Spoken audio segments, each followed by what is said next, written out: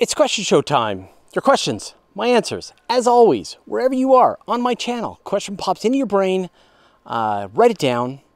I will gather them up and I will answer them here.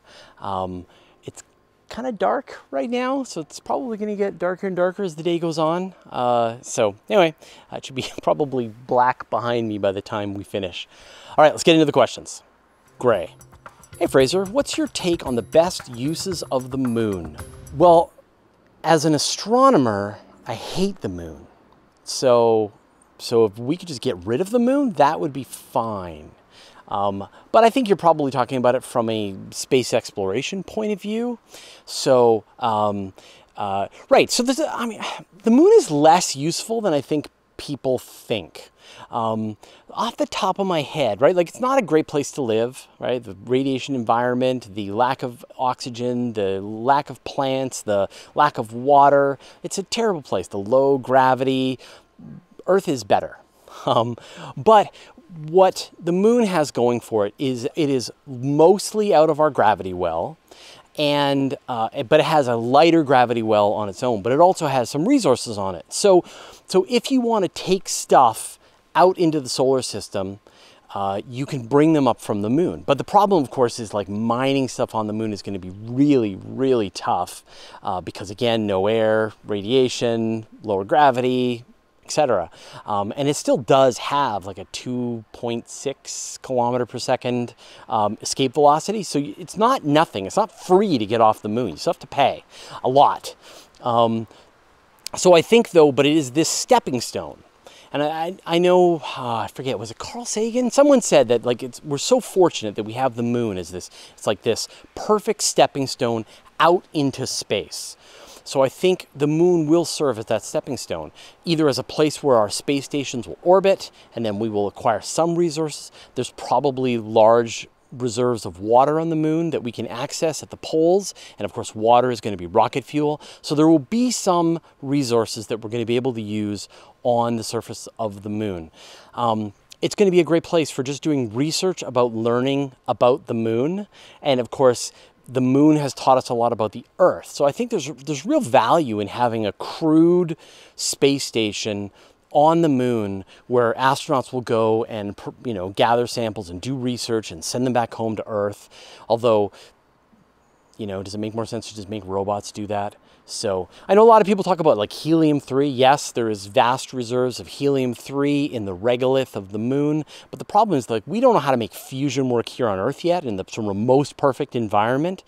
So um, to go to the moon when it's going to cost us hundreds of thousands of kilograms to just get anything to the moon. Um, so, and then we don't even know how to use the helium-3 yet. So maybe in the far, far future. So I actually don't think there's a lot of great uses for the moon. Tourism, maybe? Um, so I think it's it'll be it'll act like a stepping stone for us to go from out farther into space. And I hope that we use it. I hope that we do take those steps and then move ourselves out into space. But in terms of like what's the most useful thing out there, it's asteroids, right? Asteroids is the raw material that we want to use to make our future solar system spanning civilization. Gravity wells are for suckers. Don't go in them. Add A. Who's Fraser Cain? Why is Fraser telling me what is and isn't going to happen? Is Fraser qualified? Where does Fraser get his information? Why are people asking Fraser questions? Who am I? right? I'm just some rando YouTuber. And uh, who knows if you can trust or believe me. So uh, here are my qualifications. Um, I am the publisher of Universe Today, which is a space and astronomy news website. So, uh, and I have been doing this job. I've been publishing space news for about 20 years now. I started in 1999. Yeah, so I'm a little more than more than 20 years now. Um, I've also been the co-host of the Astronomy Cast podcast with Dr. Pamela Gay for 12 years.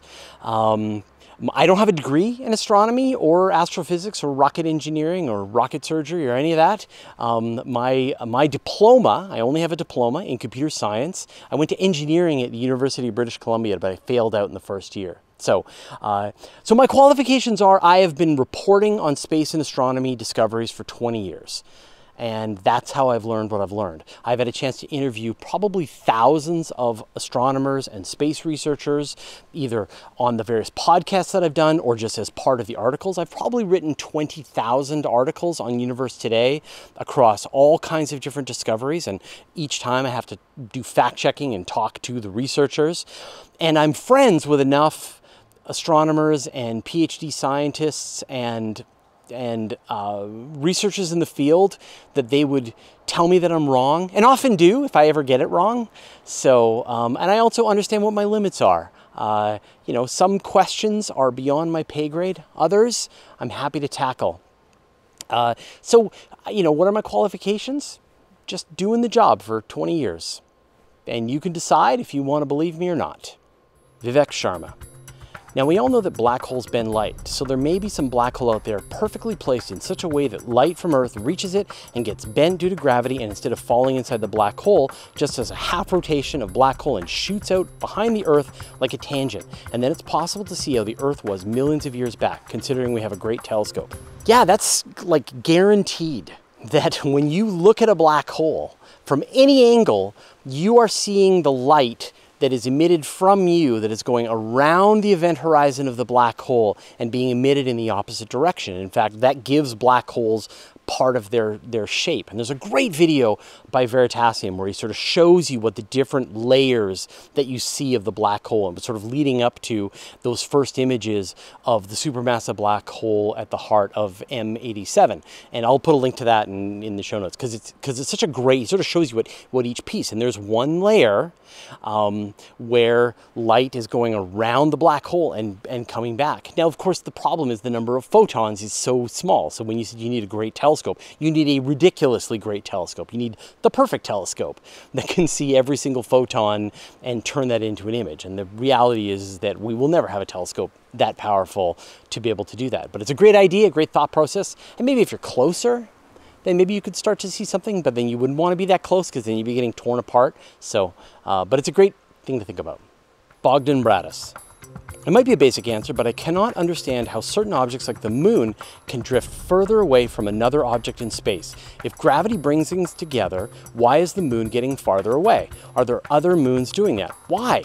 Gravity definitely brings things together. If you had the Earth and the moon sitting out there in space and you just let them go, and maybe Chad will mock this up in, uh, in Universe Sandbox, uh, they will just drift together and smash into each other. So clearly that's not what the moon is doing. And this is the discovery that Isaac Newton made. When he looked up at the moon, he said, well, here's this thing, it's a rock in the sky, and yet it is not smashing into the earth. And that's because it is falling. It is constantly falling around the earth. It is in orbit. And so all orbits are this perfect balance where they are going around some other object of mass and they go around and around and around and the object the orbit can be very circular and the, the orbit can be very elliptical but at the end of the day these things are are stable and allow an object to move without changing its um, like changing its orbit over very long periods of time. Now, you move a little faster at one part of your orbit and slower than another part of your orbit. But anyway, so, so the question then is like, how is the moon drifting away from the Earth? And the reason is because the moon is affecting the Earth with its gravity. The moon is pulling on the Earth with its gravity, and it's actually squeezing the Earth a little bit. And the Earth gets these handles on the sides of it. And then the moon's gravity is trying to slow down the rotation rate of the Earth. Now, when you think about the sort of the total amount of velocity in the system between the Earth and the moon, um, then over time, as the Earth's rotation slows down, the orbit of the moon has to compensate for this to happen. And so the moon will drift out, outward.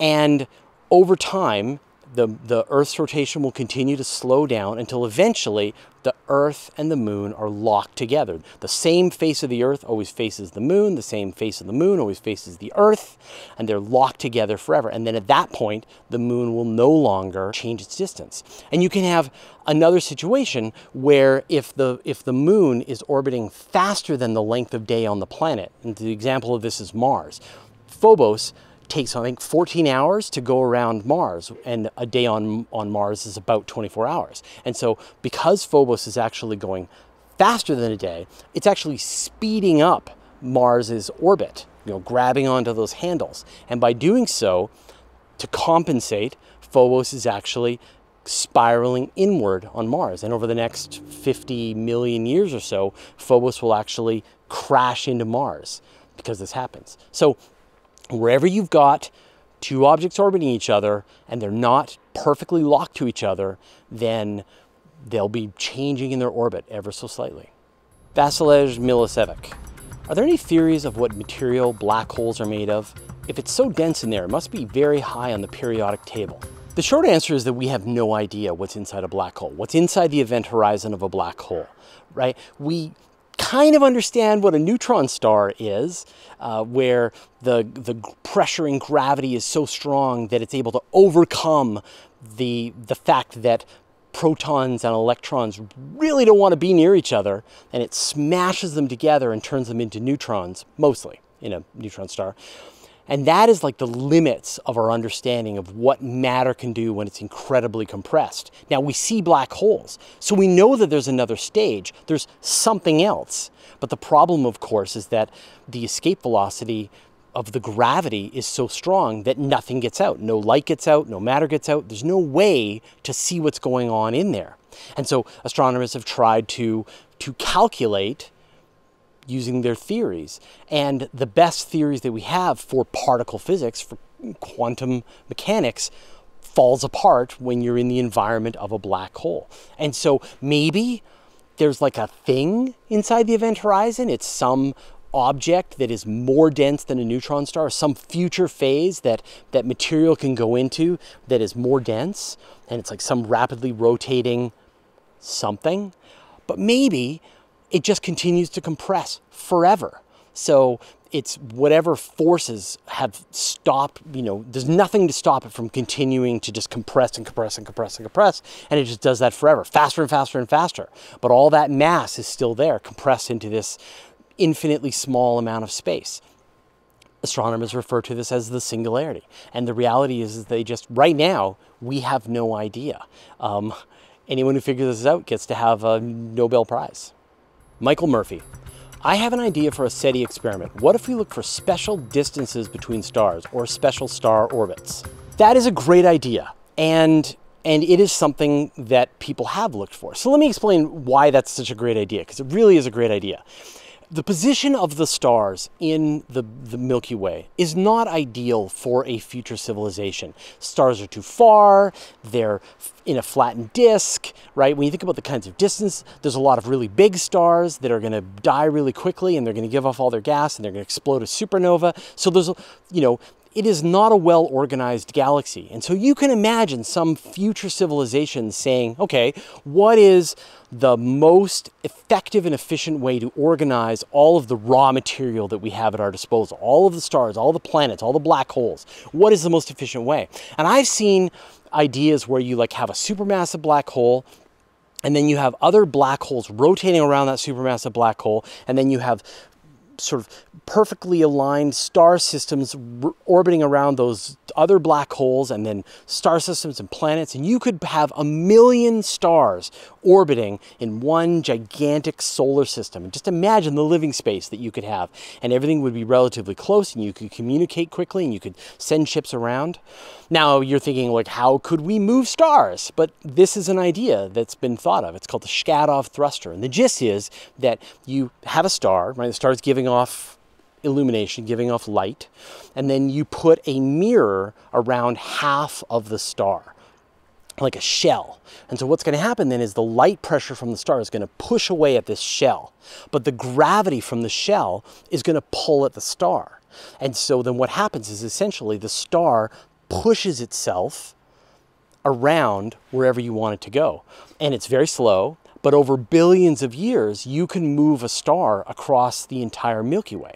So you can imagine some incredibly advanced civilization has rearranged stars at a smaller level into some cluster or all of the stars in the entire galaxy into some shape that makes sense.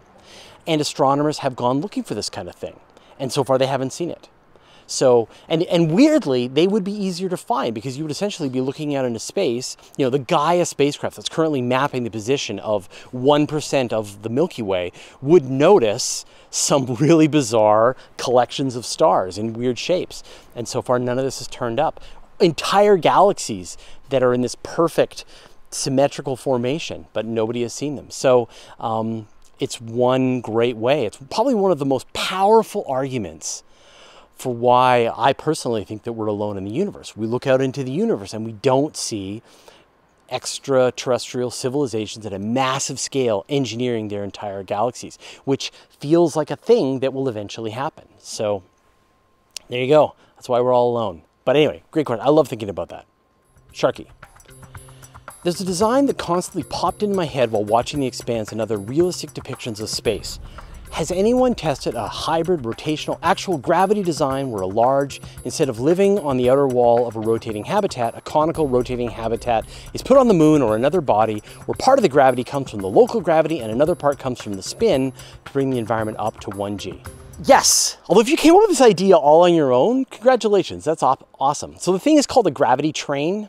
And the gist is that, you know, you're on Mars and you're going to have, say, 35% Earth gravity. So that's not enough to live a long and healthy life on Mars. Say, we don't know, right? So what you do instead is you set up a, a big rotating, almost like a Ferris wheel that's at an angle. And it's rotating, so it's kind of like one of those rotating habitats but it's rotating in such a way that the, the force, the outward force gives you the other 65%. So you've got the outward force of the rotating habitat, you've got the force of gravity from Mars, it balances out and you're experiencing 1G. And so when you think about that, right, you think about the fact that even if you're on the surface of Mars, it might be that you're still going to have to live in a rotating space station to not suffer the long term effects of, of low gravity. And it shows why living on Mars for long periods of time is probably going to be really difficult and people won't want to do it. Imagine if people want to live on Mars, but they can only do it for a couple of years, then they have to fly to space. So that's why I really feel like you know, you build these rotating space stations in space, they, you get them rotating, there's no friction, they'll rotate forever. While on Mars, you're gonna have the friction of the surface. You're gonna have to keep the thing powered, keep the thing rotating. It's gonna get very expensive from a power point of view. But still, it's a great idea and it is the solution, probably, to a low gravity. AFMMK. Hey Fraser, it's a hypothetical question. Imagine we send a lander to Europa and we drill through the ice and we found real evidence for life living in the underwater sea that it has. What would be the real world implications of it here on Earth? How would everyone react to it? What would humanity do as the next step? I like your future. That sounds amazing, right? We send the Europa spacecraft, the lander, it drills through the ice, it finds evidence of life on Europa. So uh, and we and so we have like the best possible evidence. Maybe some kind of squid shows up and takes away one of the little hydrobots. Uh, so you've got really great evidence that there's life down there. Um, what do we do? So so the the big question that we face right now is are we alone in the universe? Did life form on Earth and nowhere else in the universe? And so if you found life on Europa, then the answer to that question is no, right? Um, life is on Earth and life is on Europa. So there's life on two worlds. Now, the question that you want to find out is, is the life related between the life on Earth and the life on Europa? And the only way to do that is to sample that life, to find out if it has DNA that's similar. Uh, in fact, can we find a common ancestor between us and the Europa life? What was the method? Was it some kind of asteroid that smashed into Earth and went over to Europa? Was it some asteroid that hit Europa and sent life to Earth? So if we are related, that's amazing. But it tells us, okay, we know that life exists across the solar system, but is life in other solar systems? We don't know yet. If the life formed completely independently has no connection to us here on Earth, then that means that life is everywhere. And if life is everywhere, then why don't we see it? So, uh, unfortunately, if we find life on Europa, we will get an answer to the most important question that humanity can possibly ask. And now we will have new questions that are even more important. So, uh, we'll never be bored. Yari Hakalati. It's Earth and our solar system that's bizarre. This is like blaming everyone for our shortcomings. Our system is one in 100,000. Get used to the fact. Yeah, what we're finding is that over time, we are discovering more and more examples of other solar systems, and we're finding that variety is, is what's going on. You know, before we had found the first solar systems, we thought that other solar systems would be very similar. You would have a bunch of terrestrial planets clo roughly close into the star, and then you'd have the gas giants, and then you'd have some ice worlds, and then you'd have a Kuiper belt. And the models have been worked up to sort of explain how this would come together. And then the first planets that were found around a sun like star were these hot Jupiters orbiting really closely in a place that no one ever thought a planet should be able to get to. And now we're finding hot Earths next to their star, planets that are going around red dwarf stars. We're finding planets with many times the mass of Jupiter, mini Neptunes, things like that. So we're finding that the variety is out there. And the more that we discover these other solar systems, the more that astronomers have to work with to figure out the new rules right? The patterns will emerge. They'll be like, okay, if you've got this size of a star and and the star has these kinds of chemicals in it and it's came from this kind of a solar nebula and it's this age, then these are the kinds of planets that tend to form and they will they'll have a more complicated model for how the different solar systems will form and then they'll be able to make predictions and say okay great here's a new star. It's probably going to have these kinds of planets around it. There's another star it's going to probably have those kinds of planets. But this is just how science works right? You have an idea and then as you make actual discoveries you find things that blow your mind and you can't wait to learn more. So uh, so get used to that. Adult film star. Could there be aliens that look just like us but wouldn't be like us? Like they could lay eggs and have a different blood color We've been on a Star Trek bender around the house uh, for the last couple of weeks. And isn't it weird that all the aliens just look like, look like humans, but they've got like just weird ridges on their heads? And that's how you know they're aliens? Or their fingers are kind of mushed together? Anyway, Star Trek. Um, we, of course, have no idea what aliens will look like. The only things that we have to work with is we make the assumption that aliens have to live in this universe too. So they have to obey the laws of physics, the same laws of physics and chemistry that we do, right? Gravity will pull you down. The star is in the sky. Um, you know, like there's going to be various things, and then various chemicals come together in ways that hydrogen and oxygen come together and they make water. Um, so you can sort of if, with that as your baseline, we don't know what the variables are, all the different ways that life could form. But we do see here on Earth this idea of, uh, is it convergent evolution? Where essentially evolution solves the same problem multiple times, right? Like eyes. We know that eyes have evolved many times on a completely separate creature in a completely separate way because eyes are useful, being able to see in your environment. Or wings, right? Bats have wings, birds have wings insects have wings, and they all evolve these wings in a different way. So if we saw an alien with legs, that would make sense because it would try to be supporting itself in the gravity and as a way of locomotion. If we saw an, an alien with wings, that would make sense. And of course, the idea of an egg, right? Insects lay eggs, birds lay eggs, platypuses lay eggs. So um, fish lay eggs. Uh, so this idea again of, of you know you create a package that your baby is going to require to be able to survive and have and grow, um, that makes sense. So we still don't know what all of the nuances and all the variations are going to be, and this is going to be exciting. I, I, mean, like one of my great frustrations is that we may find life, we may know that there is life there, but we won't actually be able to see them up close and know how they actually function on another star system for a long time until we figure out how to actually travel there. So, um, but yeah, we don't know. Ali Saeed. Imagine VR so immersive that it's indistinguishable from reality. Wouldn't true human space exploration at that point be completely obsolete? Just in androids.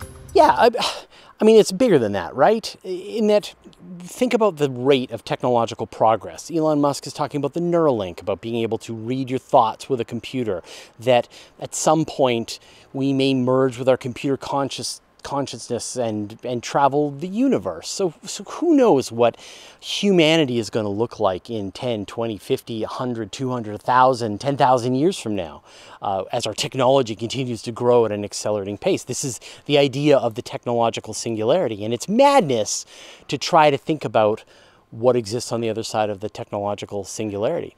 But I've heard this as one explanation for the Fermi paradox that aliens get to a point where their virtual reality is so great that they just spend their time in virtual reality and don't bother exploring the universe because you could live, you know, imagine the planets in no Man's Sky. I mean, now after all the updates, um, you know, not the, not the release, but you know, it's it's gotten a lot better.